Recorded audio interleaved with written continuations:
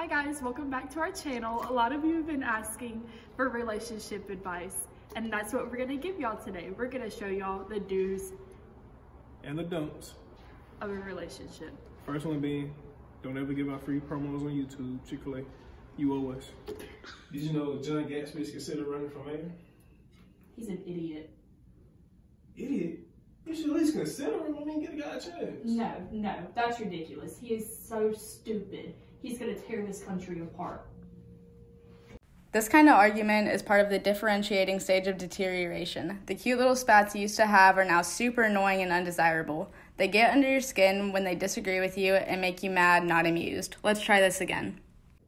Is your John Gatsby considered a mayoral run? Are you for or against him?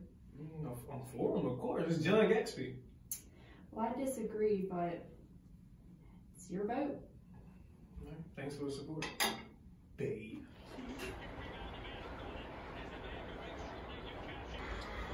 Can we do something different for once? Oh, uh, yeah, it's my favorite color.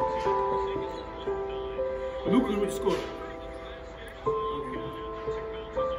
This is an example of the stagnating stage of relationship. It is when the relationship becomes boring and they feel like they're just going through the motions. In order to get out of this monotonous stage, couples try and do different activities such as going for a walk, going bowling, or going out for dinner. It is important to do fun activities together on a regular basis. Here's how to keep the spark alive.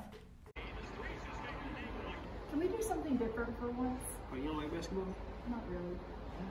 Sorry. I just come back to it. You know, you're safe. See what you want to do. Let's go for a walk. Walk it is. So, how about that weather we're having? It sucks. This is a common mistake many couples make. One person may not realize that he or she is being distant. This part of the relational maintenance behaviors theory. Among other behaviors, relationships need both verbal and nonverbal assurances to stress faithfulness and commitment. Barton Goldsmith, a PhD psycho- psychotherapist, says that touch is one of the most nurturing forces in the universe. So being intimate is a very important part of the relationship. This also contributes to the avoidance stage of creating emotional and physical distance. Here's how to keep the spark alive. So, uh, I know I do this often, but I just want to let you know that you are very beautiful. And the beautiful thing about you is not your looks, it's your personality. Aww. Well, you look very beautiful today, too. so how was your day? Tell me about it. My day was like any other day.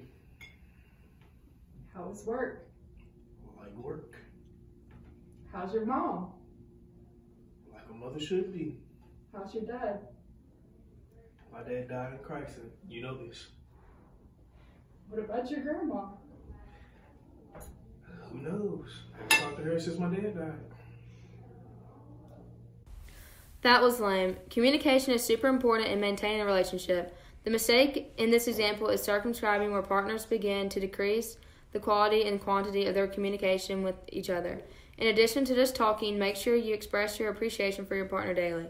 Try to spend 30 minutes a day just talking to your partner to help maintain a deep connection. Here's how to keep the spark alive. Oh. So how was your day? Tell me all about Ooh, it. I can't wait. I was waiting you ask that question. Okay, so first I walked in and you won't believe it. I got a raise. Really? Yes, I got a raise. How it was good? only, you know, 0.5, but you know, any raise is a good raise, you know. Mm-hmm. So Better than minimum wage. yeah, ooh, minimum wage. So I hope that y'all enjoyed the video. I hope I hope that y'all learned a lot from it. Make sure y'all get this video to 100,000 likes. We giving out a free uh free Chick-fil-A gift card. Chick-fil-A gift card. Uh, I was thinking a little something like a laptop, but Chick-fil-A. We're too broke for that. If you avoid all these warning stages as well as use my tips, you should be able to re- revive your relationship and avoid the terminating stage at which point the relationship is over.